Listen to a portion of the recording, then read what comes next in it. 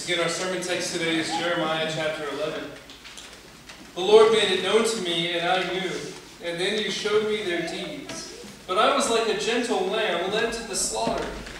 I did not know it was against me. They devised schemes, saying, Let us destroy the tree with its fruit. Let us cut him off from the land of the living. And his name you remembered no more. But, O Lord of hosts, who judges righteously, who tests the heart and the mind, let me see your vengeance upon them, for to you I have committed my cause. Grace, mercy, and peace to you from God our Father, and from our Lord and Savior Jesus Christ. Amen. So I saw a video online. Uh, it's been a couple weeks since I, I, I watched it, but uh, it's, it's old. It's been on there for about two years now, and it's from one of those talent shows. I think Switzerland Got Talent. Switzerland's Got Talent. Um, and it's, uh, it's, it's, it's an older video. They don't speak English, so I'm not quite sure what the judges are saying to one another, but the general gist of the video is clear. So the, the contestant's an artist, and you know usually it's a vocalist, someone like that, but she's, she's an artist. She paints, she draws, uh, she's using markers and chalk and pens and things. And she starts out by drawing one of the judges. And it's kind of a caricature um, more than a, a, portrait or anything like that. And it, when you first look at it, you think, well, this isn't overly impressive. It's better than what I can do, but I don't know if this is show material. And the judges kind of feel the same way. And sure enough, one of the judges gets bored and uh, after about a minute and slaps the buzzer. And they're her first X, you know, and she gets four, she's out of the contest. And then that starts the chain reaction. The next buzzer comes along. And then the third buzzer, until finally the only one that's left is the judge who's being drawn. He wants to see the finished product, but it's taking a weird turn. It, it doesn't quite look like him anymore. She's done some different things to it. Um, and so he hits the buzzer too. And so she looks back, you know, a little dejected. She'd been rejected. She can't progress in the show now, but she wants to finish her drawing, so she makes two lines that go up, and then she flips it over. And she pulls out a powder, and she blows the powder onto the, onto the drawing. And all of a sudden, it transforms from this caricature of the one judge to a beautiful portrait of another judge. And it's amazing that she was able to make that transformation, drawing it upside down and kind of blind because you couldn't see any of the lines that she was doing without the powder on there. And it was amazing, and the audience first first to react to it. They they were they stupendous. They all stood up and cheered. It was such a beautiful transformation. And I think it took the, the judges a couple seconds to catch on because they realized what they had done that they had eliminated her from the contest even though she had this amazing artwork. You know, as you can imagine, the contestant was crying, rejected. Well, the video goes on, and you can look it up if you want to see what happens from there.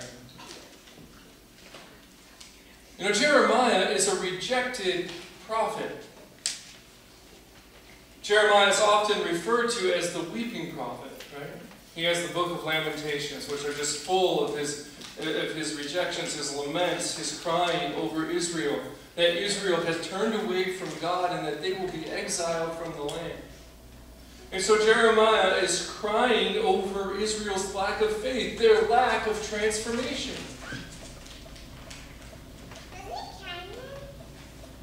Now, a popular verse out of Jeremiah is verse 1, 1 chapter 1, verse 5. And that verse goes like this. It says, Before I formed you in the womb, I knew you. Before you were born, I consecrated you. Now, often this verse is one that's taken out of context as well. Because although God did know you before you were born, although God did form you in eternity, and although God does have a plan for you, it's not always a good thing when God speaks to you directly, announcing that He has formed you and consecrated you for service in his kingdom. Just think of Moses, right? Moses, who a bush spoke to him in the middle of the desert, told him to go to Egypt to free the people of God. But not only was, was Moses rejected by Pharaoh and then rejected by the people, but then he had a whole army of chariots chasing after him, trying to kill him. And then when he did free the people, he, he, he took some of the most miserable people through the desert, and all they had to do was complain about him and his leadership. It wasn't a good thing. And Jeremiah is the same. God chose Jeremiah to be a suffering prophet, a gentle lamb led to the slaughter. God chose Jeremiah to preach to a blasphemous nation who had rejected God and who will ultimately try to have him killed. And so in our text today, Jeremiah is weeping because the Israelites, God's chosen people, have rejected his call for transformation. He is, they have rejected his call for repentance, and now God in chapter 11 is warning Jeremiah that the people are planning to have him killed. And that's why he says, Here I am, a gentle lamb, a gentle lamb bringing the word of God, being led to the slaughter. You see, Jeremiah came as a prophet in a time when God's people were worshiping false Baals and other false gods. And their worship practices in general often invited them into deeper and deeper sin. You see, the, the false worship of false Baals uh, often started with coveting, right? You saw your neighbors around you, the Philistines and, and others around you that were worshiping these Baals, and you saw what they had in their lives. And so you coveted that, and you said, well, let's start worshiping their false gods. And then from there, the worship practice regularly involved uh, adultery and prostitution. And then apparently, uh, some of these practices also involved sacrificing children and other people. So these, the Israelites all of a sudden have no problem committing murder, even murdering a prophet of God. And so Jeremiah is sent to be God's prophet and preach transformation. That if they would transform their lives by repenting and turning to God, that God would once again transform them into His chosen people, into His chosen race. He preached this repentance. That the people would turn away from Baal, that they would turn away from false gods. And yet they refused to hear his message. They refused to hear what he preached. And so then, when they refused, he was sent to preach death and exile. And so the people became angry and they plotted against him. And so God makes it known to Jeremiah that they're planning his death. And Jeremiah mourns, a gentle lamb being led to the slaughter. Jeremiah came peacefully to preach and to transform the lives of Israel, to bring them back into God's presence. And yet, when he was rejected, he called on God for vengeance.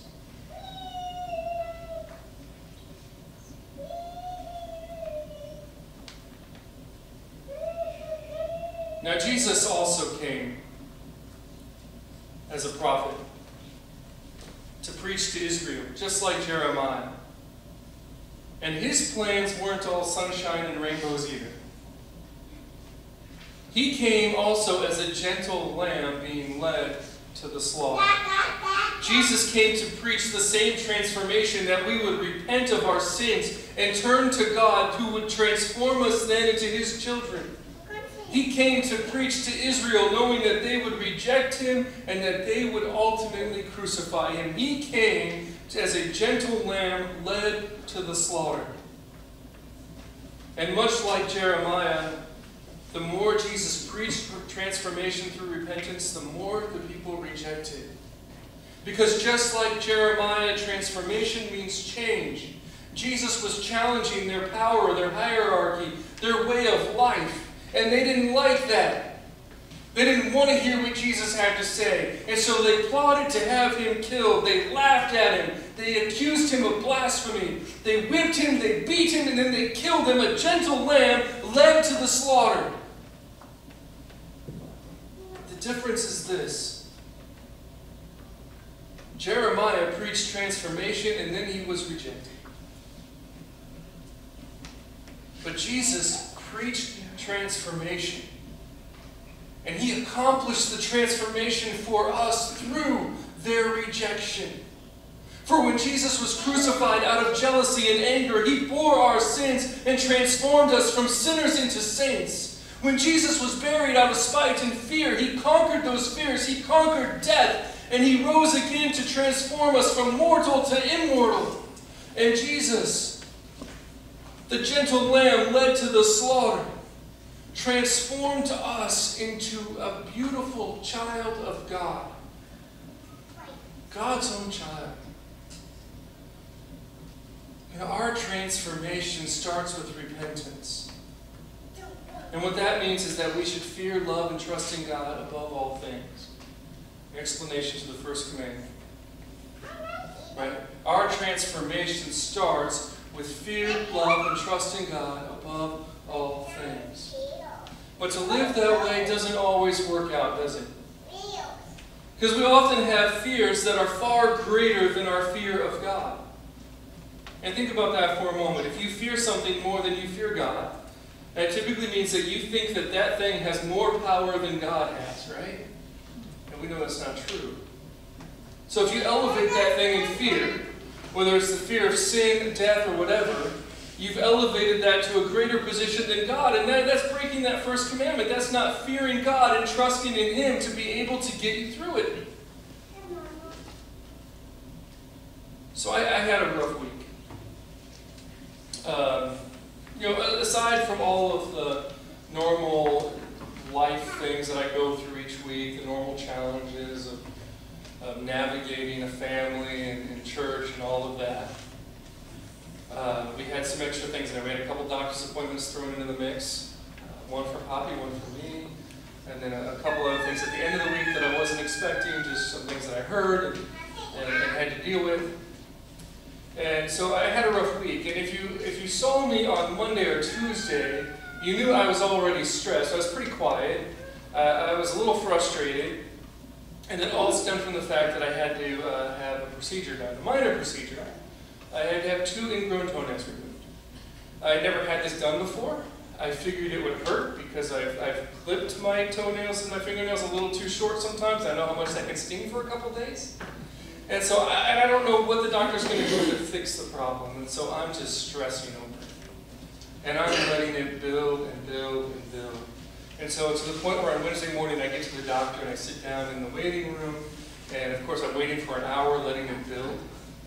And then I get into the chair and I sit down and he's like, he looks at us and says, yep, we got to cut into him. I'm like, okay this isn't good, but okay, we'll, we'll do it. And he's like, well, do you want to do them both now or one now and one later? And I'm like, let's just get it over with. I, I can't do them both. And, uh, and I was letting it build, and I could feel my blood pressure rise, so that by the time the nurse came in to give me the anesthesia in the toes, um, I was just drenched in sweat and, and feeling dizzy, and I was going to pass out. As I told her she had to stop and lie me down and turn the chair into a bed so I could lie down, which after that was fine.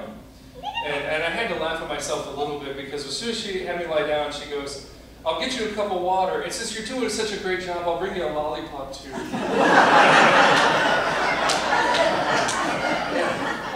which, is, which is even funnier because just the day before I took Poppy in to get uh, five vaccines, and she handled it far better than I did, and she deserved her lollipop much more than me.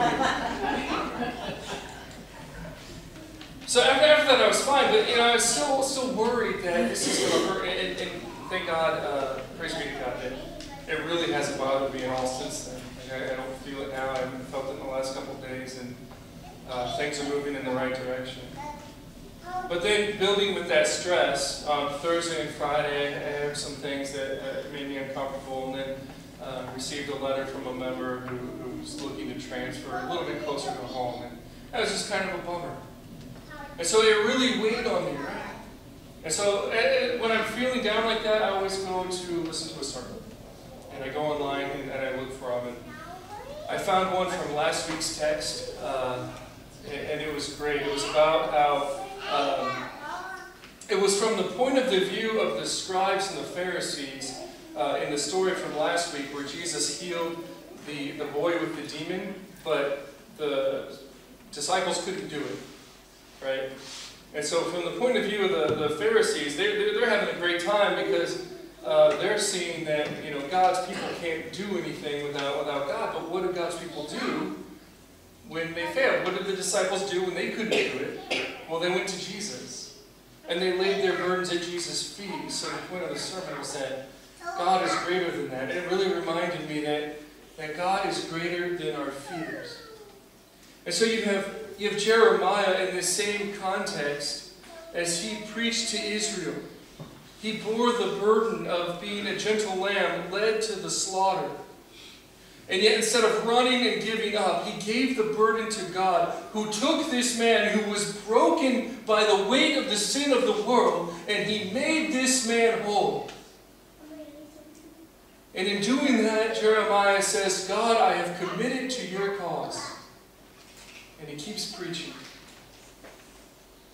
You see, God has taken each and every one of us in baptism and has transformed us into the children of God, worthy of salvation, and God now stands by our side.